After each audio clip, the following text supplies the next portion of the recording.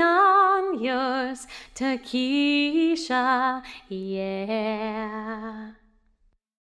One happy birthday dot com.